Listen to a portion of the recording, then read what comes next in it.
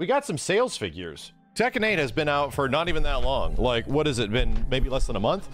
Game has been out and, uh, you know, dope. It's amazing. It's fully featured. It actually has functioning online. It has real rollback netcode to the point where we didn't know if it was real rollback netcode for a while. And yeah, it totally is. I kind of wanted to talk about, because this is something I definitely follow, right? You shouldn't you shouldn't really need to follow sales, but for somebody that's like industry savvy and sales are is an important metric of like, you know, not just popularity of a game because some games can seem insanely popular, uh, like Guilty Gear Strive when it came out, but then take like a year to even get 1 million sales which is like that doesn't make any sense. Like what the so anyway there's a big disconnect between like what the what the FGC is and what is popular within the FGC compared to how broadly popular are fighting games. Again Mortal Kombat and Smash Brothers are in their own universes. But if we're talking about the overall perspective, wide, wide picture public of fighting games. Uh, believe it or not, when you get away from those two big giants, those massive super giants in this in the in this in the solar system of fighting games, it isn't Street Fighter that comes right after that. Weirdly enough, it's Tekken. It isn't Tekken by a wide margin, but throughout the history of releases and sort of the pantheon of the Street Fighter series, which you think would be the next biggest one, obviously, shockingly not. Tekken has sort of had its ups and downs, but overall, the Tekken series has sold more than the Street Fighter series, believe it or not. And that is because of a very good reason that we have literally just discussed on our entire Tekken legacy. Tekken is a game that has survived and thrived because of its casual audience. It hasn't been the esports side of it. It hasn't been the competitive side of it. It hasn't been like all of the high level gameplay. No, none of that shit. Tekken is a game that has survived because it has had the most content for casuals of almost any fighting game out there next to Smash Brothers titles and obviously NetherRealm Studios games. So Injustice and Mortal Kombat. Even if you look at a lot of the the history of Capcom fighting games, dude, the majority of them are not that. Majority of them are just the arcade versions of those games, and that's it. And then some of them get a bit more stuff here and there, but obviously Street Fighter 6 is you know, the first example of, oh, no, you get an actual full game with this. Oh, God. With that being said, Tekken 8's no different. Tekken 8 is, uh, once again, offering more stuff in it per capita than any other Tekken game at this point. There's just a ton of content. It's actually good online. It has a great story mode. It has one of the best story modes, in my opinion. It's got all the things that people expect a fighting game to have. Well, sales numbers are out and it's sold 2 million copies since launch. Is that getting close to any wild stuff like Call of Duties or Minecrafts or GTAs? It's not. But for a fighting game to sell more than 2 million copies that is not a Smash Brothers or an NRS game, a WB NetherRealm game, uh, that is huge. That's actually faster than almost any other mainline fighting game in a very long time. This probably is the fastest selling Tekken game, and I don't know if we have the hard data of things like Tekken 3, but to push 2 million units before even a month is out, they even said that they were not expecting sales like this. For a lot of fighting games, just as comparative, pushing 2 million sales within a year is successful. So that's really good. Again, reiterating that it is selling faster than Tekken 7. 7 took about 2 months to sell 2 million units while 8 did it under, in under 3 weeks. And there's there's some very good stories behind why this game is successful and um, why it feels like Street Fighter uh, could be more successful. You know, even though it's doing super well, Street Fighter 6 is, is a game that obviously is feature rich, has a ton of stuff people like, obviously needing more content that we're just hoping is going to come up soon, but clearly is selling great and is selling comparatively to Street Fighter 4 in the same time frame. So this isn't a video or a topic that's going to be, oh, Street Fighter or Tekken, which one better, or Mortal Kombat, which one better. This is more of a telltale of what sales actually mean and why sales can be attributed to either good sales or bad sales or whatnot. Because all games have their, their draw of what's really important, and it's just nice to see that a game like Tekken and Street Fighter can actually thrive because these games are indeed thriving.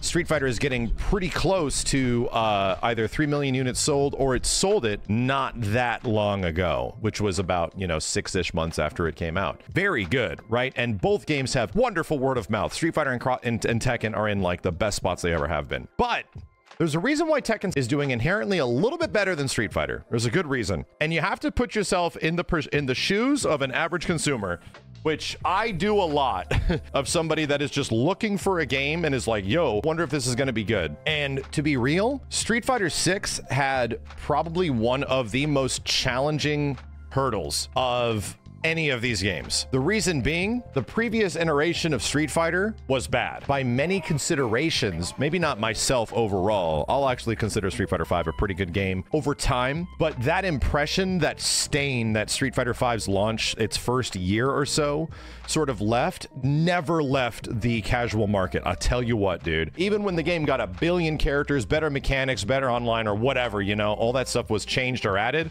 it didn't matter that first impression stayed the entire way, all the way through the game's, you know, eventual seven to eight million sales, which it did pretty good over a very long period of time. Street Fighter 6 had a tough route because if you're a Street Fighter fan, obviously you're going to buy Street Fighter 6, but we weren't concerned about Street Fighter fans buying Street Fighter 6. The whole point of Street Fighter 6 turning into something different was to grab their audience that they essentially betrayed, that a lot of people felt aggressively betrayed. The same thing with like the Marvel vs. Capcom series with Marvel vs. Capcom Infinite, like Capcom and their last iterations of fighting games kind of betrayed their fan bases in many ways, which was kind of in my opinion the second dark ages of Capcom fighting games. It was very brutal brutal. The fact that Street Fighter 6 comparatively has been able to sell as good as it has, quite literally a testament and a word of mouth that, like, oh, this shit bangs, bro. No, this is actually not that bullshit you remember. This is a new, this is a new vision. It's good. And, you know, obviously, we know that. We're just waiting on the eventual content updates and things like that to really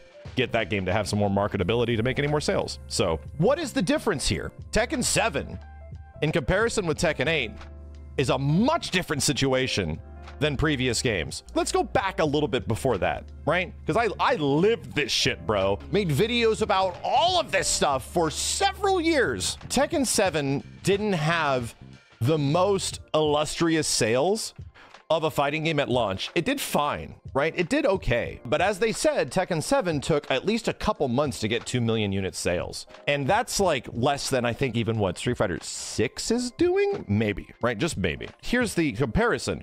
What came before Tekken 7? What was the precedent that was set up in the audience?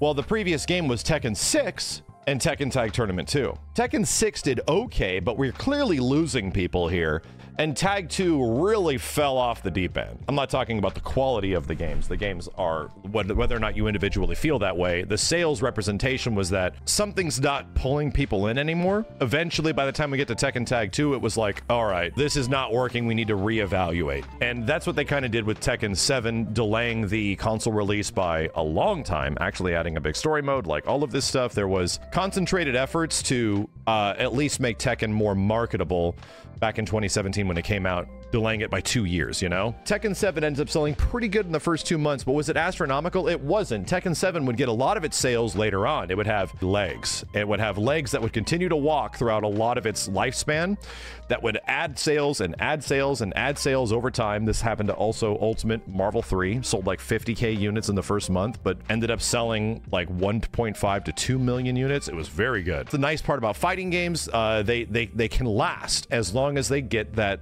appropriate those appropriate content updates. So, Tekken 8 has a legacy coming from Tekken 7. What was Tekken 7 to a lot of people? Oh, it was it was a pretty good Tekken. That was the game that was dope. That was the game that had all those cool stories that had to be told about about esports and stuff that you either liked or potentially disliked the crazy story mode or something like that. Like there's a billion crazy characters in it. It was essentially as we described in our Tekken 7 Legacy, the fighting game for the world, not just one region, but it was kind of the fighting game for everybody. So Tekken 7 had a lot. All it did was like, you get these games where it's like, the previous game slammed the door on you. That's what Street Fighter 6 was dealing with. The door was closed. They had to find the goddamn key. Tekken 7, leading into Tekken 8, guess what was happening? The door was ajar. All you had to do was just push it open, Neo. Just walk through the door, walk the path. And that's what Tekken 8 did. That isn't to give Street Fighter 6 or Tekken 8 not their just credit, because what happens when you know that the previous game has set a precedent, that Tekken 7 had a lot of content in it and, and enough to make people relatively happy. But now you need to one up what that previous game was. It's got to look better, it's got to provide. And what I can emphatically say is that, yeah, Tekken 8 is one of the best fighting game bang for your bucks out there, dude. Just in terms of like the way they treat costumes, the way they treat roster, the roster is massive for a launch fighting game at 30 characters. Dude, even Dragon Ball FighterZ was a 3v3 team game. It didn't have nearly that many characters when it came out. So there's just a lot to do in this game, and it runs good online. They pretty much one-upped almost every single aspect that was Tekken 7, and that was not cheap. It was super expensive. And I have to remind people this is likely the most expensive Japanese-made fighting game of all time. I don't think we can think of any other fighting game, Smash Brothers included, that came out of Japan that cost as much money as Tekken 8 did. It shows. You actually see it in the content of the game, and you see it in the visuals, and it truly is something special. So, I'm just happy to report that really good games will fucking sell. We we see it every once in a while. Like, remember that Helldivers 2 game? That game looked like mad straightforward in uh, any of the trailers, right? But word of mouth is word of mouth, and a good game is a good game, and people are just hooting and hollering, this shit slaps, brother. And that gets around. That really does get around. Tekken 8 is no different. Almost everybody that experiences this thing has good things to say about it. It quite literally feels like we're in a golden era once again. And now we have a situation where Tekken feels quite literally as big and if not even better than back in the Tekken 3 and Tekken 5 days, which were pinnacle Tekken. We're never going to get as good and as much as the feelings of those old games. We're never going to get there. No, no, no. We've we've they've gotten there. They actually did it. This isn't a Street Fighter 6 versus Tekken 8 sales. Both games comparatively are selling super well. Capcom is doing better than they ever have been right now. They have a hit fighting game that is going to eventually do great by the time their next season comes along, whenever the hell we see it. And there's a ton more stuff that's added to the game, much less, you know, Akuma and all that crazy bullshit. And we don't even know the goddamn guest characters for Tekken 8, dude. That was the biggest selling point of this game. Like Tekken 7 got most of its sales and its huge marketing push and word of mouth from crazy ass guest characters that were eventually added over time. We don't even know if that's going to happen, but I would be 1000% dumbfounded if Tekken 8 didn't take advantage of what they already set them up for with the previous game and some expectations that people already have. All I'm saying is that this is just the beginning. It's just the beginning for Street Fighter 6, it's just the beginning for Tekken 8. We're not even a year into these games yet. They're all to be mechanically fucked. I'm to guarantee you that right now. Street Fighter 6 had a really solid start. All fighting games are mechanically fucked in their first iterations. And this game will be no different. There will be stupid, busted ass shit that they're going to have to eventually reevaluate, retune, and add more stuff to. Street Fighter 6 will also be no different. They're going to reevaluate, retune, and add a bunch of new stuff to it. That is just the nature of all fighting games. But at least the first versions of these games is genuinely fun. And we have something that is enjoyable to play online, has a lot to do in the games, looks friggin' amazing. I feel like I'm still in a honeymoon phase with Tekken 8 especially, and kind of Street Fighter 6 because the last couple times I've gone back to Street Fighter 6 over the past like couple of months, I'm like, damn, dude, this game's good. All I can say is that I'm thrilled with both of these games and their performance, and it really shows. It really shows that the expectations of what a fighting game can be have dramatically changed in the past five years. And now, as a result, developers and publishers, when they do it right, are reaping the rewards.